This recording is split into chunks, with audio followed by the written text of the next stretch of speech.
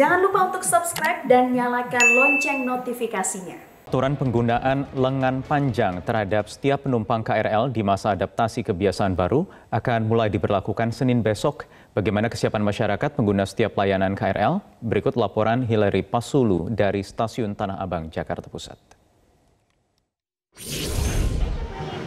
Pemirsa kereta rel listrik merupakan salah satu transportasi umum yang terus beroperasi pada masa pandemi COVID-19, sehingga penyebaran virus corona bisa saja terjadi di transportasi umum.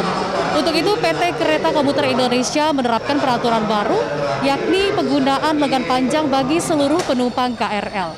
Nah, saat ini saya sudah berada di stasiun transit Stasiun Tanah Abang. Kita akan tanyakan pada penumpang bagaimana tanggapannya terkait dengan peraturan baru tersebut. Tahu nggak Bu kalau per Senin depan KRL menerapkan peraturan harus menggunakan lengan panjang? Eh, belum tahu. Maaf, kalau belum Ibu tahu. sendiri bersedia nggak Bu? Kalau saya pribadi sih eh, agak keberatan ya Mbak, soalnya kan agak gerah ya. Tapi kalau misalkan memang sudah peraturan dari sana, kita ikutin peraturan. Uh, tahu. Terus tadi juga saya naik kereta dapat infonya juga sih di announce gitu di kereta. Setuju nggak Mas? Sebenarnya kayak kurang efektif ya. Pertama kan kayak uh, kalau orang komuter tuh biasanya kan cuma kayak numpang jalan segitu aja kan. Terus kayak harus bawa baju ekstra segala macam. Terus cuaca di Jakarta juga panas banget sih sebenarnya itu sih. Kayaknya nggak nggak nggak efektif aja. Iya tahu. Mbak sendiri bersedia nggak menjalankan peraturan itu? Iya saya bersedia. Karena uh, sebenarnya kalau misalnya kita pakai lengan panjang kan lebih kayak higienis aja. Jadi nggak kena percikan dari airdrop dari orang gitu. Terus uh, apa namanya lebih bagus aja kalau misalnya pakai lengan panjang lebih sehat. Ternyata pemirsa memang belum semua penumpang KRL mengetahui terkait dengan peraturan baru ini. Namun perlu diketahui peraturan ini akan diterapkan di seluruh stasiun komuter lain per Senin besok 20 Juli 2020. Bagi Anda yang tidak menggunakan lengan panjang, Anda terpaksa harus memilih transportasi lain. Dari Jakarta, Hilary Pasulu, Dede Rianto, Metro TV. Ya, PT Kereta Komuter Indonesia mengeluarkan peraturan baru terkait adaptasi kebiasaan baru terhadap penumpang yang menggunakan kereta rel listrik. Peraturan tersebut adalah penumpang diwajibkan mengenakan pakaian atau baju lengan panjang. Peraturan ini mulai diberlakukan Senin besok setelah melakukan sosialisasi selama dua pekan terakhir ini. Kewajiban menggunakan lengan panjang mengikuti surat edaran Kementerian Perhubungan nomor 14 tahun 2020.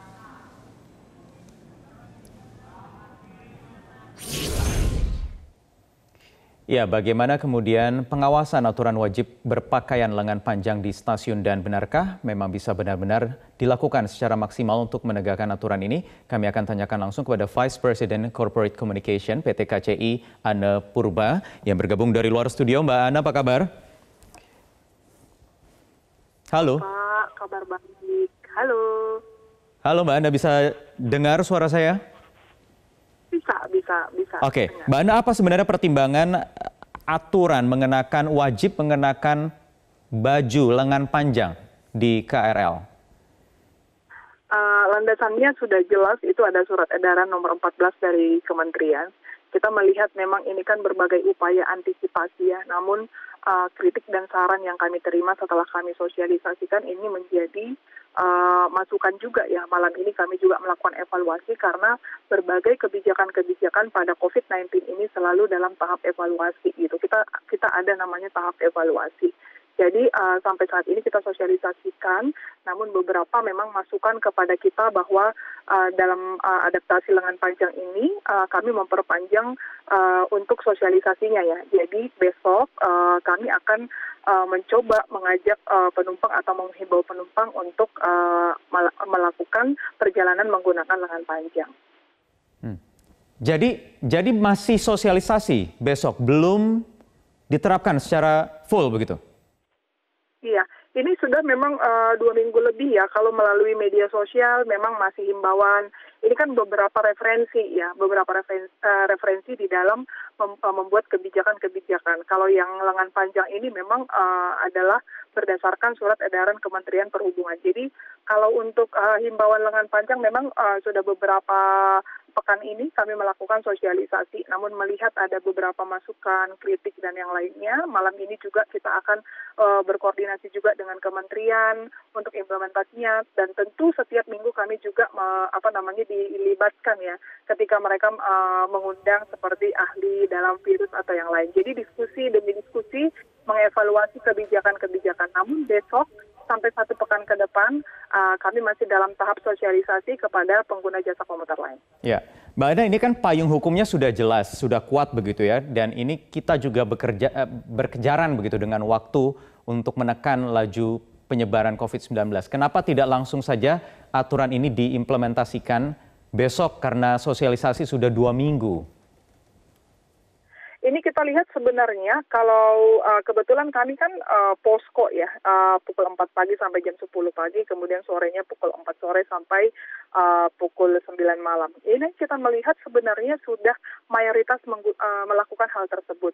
Jadi kami melakukan masih melakukan pendekatan misalkan kalau masih ditemukan kita uh, mencoba men, uh, melakukan pendekatan kemudian uh, mereka kami himbau untuk menggunakan lengan panjang. Tapi mayoritas penumpang kami saat ini sudah melakukan hal tersebut.